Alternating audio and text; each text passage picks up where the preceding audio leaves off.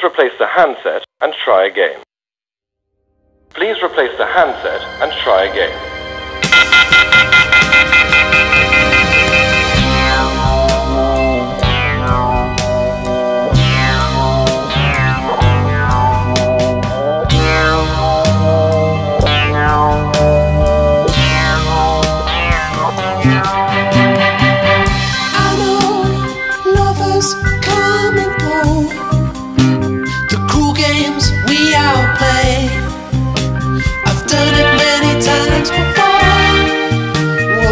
say